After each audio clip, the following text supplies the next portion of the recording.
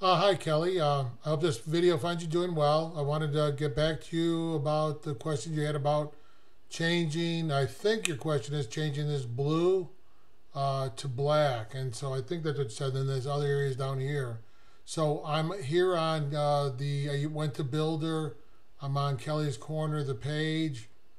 And uh, I click here, one second, the wrench and then post settings will pop up here on the left hand side. I'm going to style. The title color would be changed here. And then you scroll down and the content color would be changed here.